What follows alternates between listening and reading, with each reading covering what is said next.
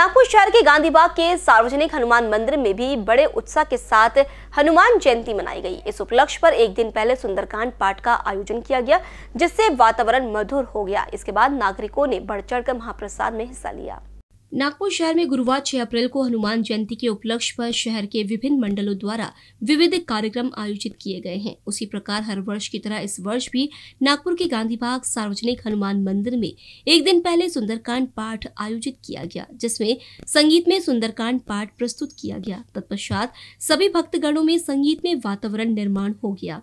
अगली सुबह पाँच बजे जन्मोत्सव के दिन भगवान का अभिषेक कर पूजन किया गया और बारह बजे से भव्य महाप्रसाद का आयोजन किया गया था, जिसमें मुख्य तौर पर विशेष अतिथि के रूप में विधायक प्रवीण दटके एवं पूर्व नगर सेवक ने भी अपनी मौजूदगी दर्ज की है। पूजा के बाद हज़ारों की संख्या में आए श्रद्धालुओं ने महाप्रसाद का लाभ लिया। इस कार्यक्रम को सफल बनाने हेतु मंडल के सभी कार्यकर्ताओं ने कड़ी मेहनत की। साथ ही कार्यक्रम में आए सभी अतिथिगण और नागरिकों का आभार व्यक्त किया। नागपुर से बीसी न्यूज़ के लिए अभिषेक पानसे के साथ माहिन पठान की रिपोर्ट।